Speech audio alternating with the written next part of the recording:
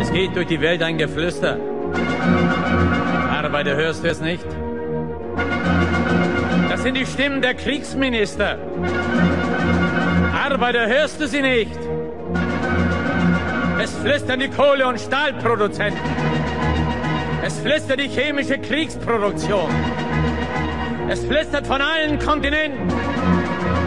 Mobilmachung gegen die Sowjetunion.